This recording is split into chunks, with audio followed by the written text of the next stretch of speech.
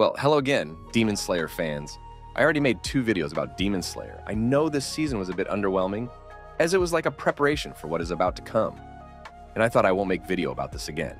But damn, just look at this. Many people didn't even know that episode 8 was the last episode of season 4, Hashira training arc.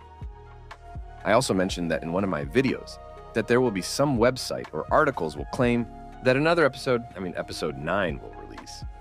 But that's totally fake. I guess now most of you have gotten the proof. Also, when I said episode 9 won't come, some even disregarded the fact and said that it's coming. So, those who were waiting for an episode 9, I guess you guys have realized by now that it's not happening. If it were to come, it would have released yesterday. Now, the only thing we can do is wait, because the next sequel will be a trilogy of movies. I already made a video about it. So, I guess we won't get episodic seasons of Demon Slayer for the Infinite Castle arc. That's why we are seeing such memes saying this was the last season of Demon Slayer. Also, we know that movies take time to release, as it releases in international theaters two or three months after Japan.